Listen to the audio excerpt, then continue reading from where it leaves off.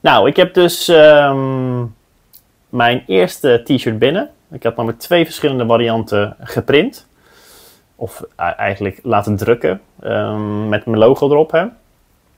Eh, ja, een ervan is dus binnen van Shirt Discounter. Ik had daar namelijk één eh, exemplaar van besteld. Ehm, dat kon daar. Dat kon namelijk niet bij Pluto Sport. Daar moest ik gelijk tien stuks bestellen. Want anders gingen ze niet aan de slag voor mij. Maar bij, Shirt Discounter dus wel. Ik heb daar dus één van kunnen bestellen. En ehm, ja, hij is dus binnen. Dus ik laat gewoon de t-shirt even zien op zich. Dat is wel leuk om te, eventjes te tonen, te tonen, te tonen. Mooie t-shirts, hè? Super mooi. ja, nee, hier is dus de t-shirt. Eh, SP, voorkant, gewoon simpel, zwart. Niks bijzonders op zich. Ik wou ook gewoon een strak design. Ik hoef allemaal niet van, van die gekke dingen of gekke, ja, vage uh, verschillende kleuren of zo. Nee, gewoon zwart, logo, klaar. Nou, hier is de achterzijde. Zie je super personal. Ook prima. Nou, ik moet eerlijk zeggen, hij lijkt een beetje geel hier op de camera. Maar het is eigenlijk een soort goudgroenig. Met een groen-gele tint. Maar hier is hij wel echt heel geel.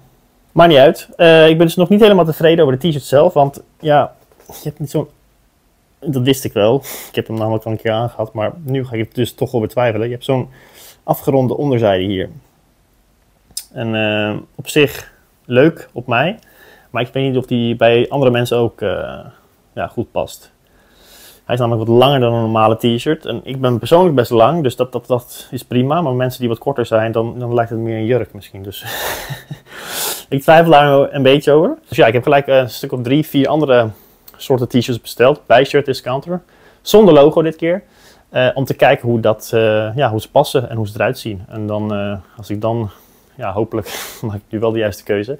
En dan ja, stuur ik hem weer op of ik stuur hem terug. En dan krijg ik, ja, laat ik ze weer met, laat hem drukken met, met logo en alles erop eraan. En dan hoop ik dat ik dan klaar ben. Want ik wacht nog steeds op Pluto Sport. Op de 10, op de, 10 op de hoodies en ook de t-shirts. Ik heb daar namelijk 10 van besteld. Alleen ja, dat duurt wat langer, omdat er natuurlijk wat meer is. Um, maar ja, wie weet. Ik ben benieuwd. Doei! Nou, ik ben dus nu bezig met het uh, ontwerp van een uh, poster die ik nodig heb voor een stoepbord. Die ik hier straks buiten voor de deur bij de entree van de sportschool ga neerzetten. en dat doe ik natuurlijk weer op de laptop, zoals altijd, met een programma dat heet Canva.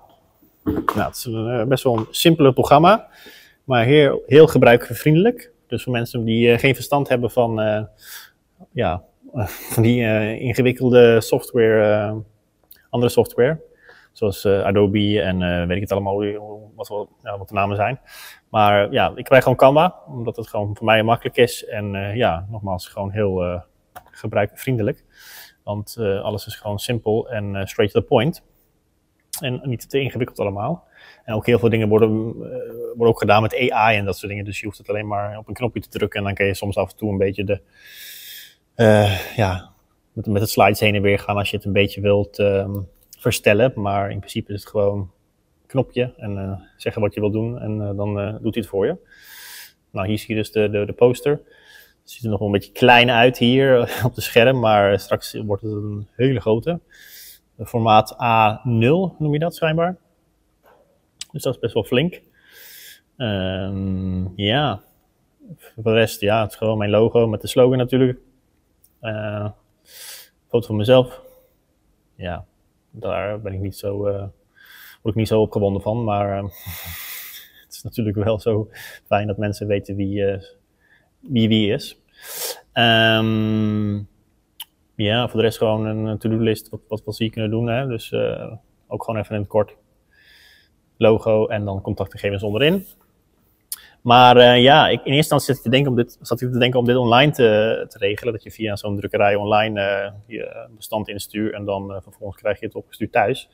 Maar ik hoorde dus van iemand anders dat hier op de weg buiten, daar ergens, staat, is er een drukkerij. De voorheuvel hier waar, ik dus, waar de sportschool staat. Dat is letterlijk ja, twee minuten lopen. En dan kan je gewoon gelijk bestand aan hun doorgeven en dan print ze het voor je uit. En binnen 10 minuten heb je, pam, heb je resultaat en uh, kan je het meenemen naar huis. Dus dat scheelt dan een hoop uh, gedoe via ja, het regelen van online. Uh, en ook wat sneller. Dus dat ga ik gelijk nu doen. ik neem jullie mee en ja, let's go!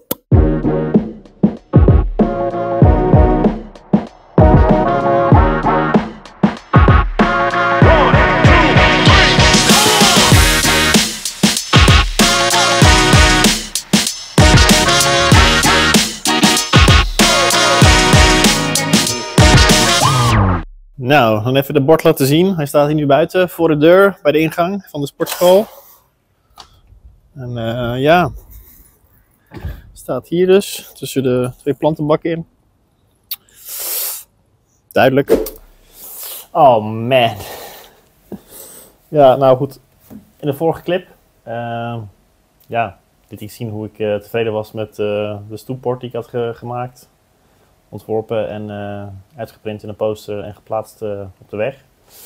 Maar gisteravond ging mijn uh, hersens tekeer en ik was echt niet tevreden eigenlijk met, ehm, met wat erop stond. Um, vooral de, ja, die grote lijnen wel, maar vooral de, um, het stuk waar ik ja, die to-do-lijst had met ja, wat ik allemaal doe. Dus personal training, lifestyle coaching, small group en dat soort dingen. Ik vond het te kinderachtig eigenlijk. En te basic. Dus ja, ik kon gisteravond gewoon bijna niet slapen. Omdat het gewoon in mijn hoofd zat. En ik uh, de hele tijd bezig was met hoe kan ik dit nou anders verwoorden. Of hoe kan ik, ja, wat is een beter idee eigenlijk. Um, want ik wil eigenlijk mezelf een beetje gaan onderscheiden. En niet dat mensen langslopen en zien van, oh, personal training, lifestyle coaching, small group. En denken van, oh, dat zijn dingen die je overal kan doen en heel standaard en basic zijn. Want dat is niet mijn uh, insteek, dat is niet mijn uh, visie en dat is ook niet wat ik wil doen. Dus ik heb het nu iets anders, um, ja, het onderwerp is iets, iets anders gemaakt met een andere tekst ook. En ik heb die hele to-do-lijst weggehaald. Um, en eigenlijk, ja, ik laat het gewoon even zien. Dat is veel makkelijker natuurlijk. Hè? Dit is het eindresultaat. Ja, tekst en ook het achtergronds. Um, ja, kleur, want die was, heb ik ook veranderd. Zie je niet, uh, want ja, het licht is gewoon kloten. Het is eigenlijk uh, zwart en dan een beetje een grijze fade hier aan de rechterkant. Alleen dat zie je niet op de camera. Maar dat is het wel. Um, dus ja, dat zijn die veranderingen wat ik gemaakt heb. Daar ben ik nu weer tevreden mee. En dan kan ik nu ook gewoon loslaten.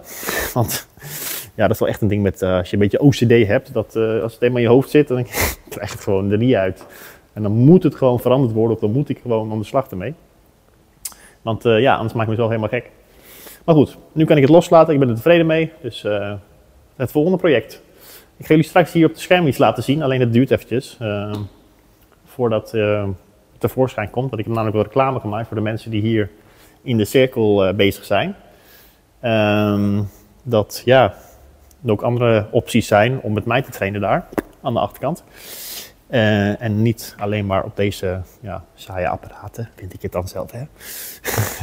nou, bam, daar is die. SP. Mooi logo. Nou, knap jongen weer. Tekst, een beetje over mezelf, mijn visie en uh, ja, gewoon kort duidelijk.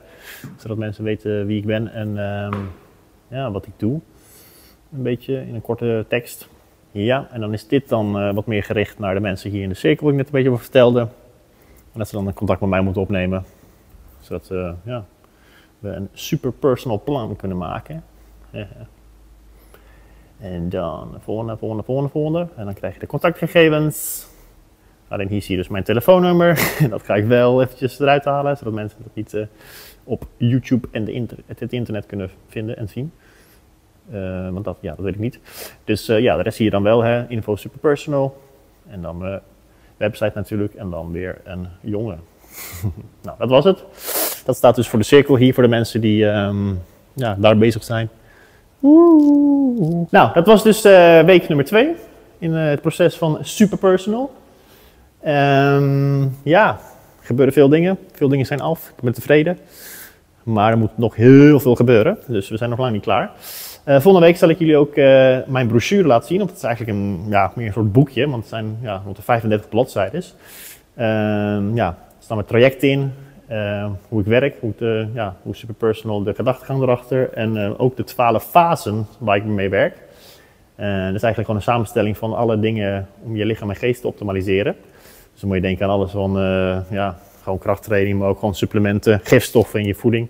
Dus het is heel uitgebreid. Ik zou daar volgende week wat meer over vertellen en ook laten zien hoe de brochure eruit ziet. Want in principe is die af, moet alleen nog een paar taaltechnische dingen worden veranderd. En dan kan ik hem naar de ontwerper sturen en dan kunnen zij uh, de laatste dingen aanpassen en dan naar de drukkerij en dan bam, is die af. Maar ja, volgende week dus. Dan eh, laat ik even de testdruk zien, hoe dat eruit eh, is gekomen. Want in principe is dat ook gewoon de laatste versie. Alleen er moeten nog een paar ja, taaltechnische, taal, taaltechnische dingen worden veranderd. En dan is hij klaar. Dus ja, dat is volgende week dus. Ik zie je dan. Doei doei!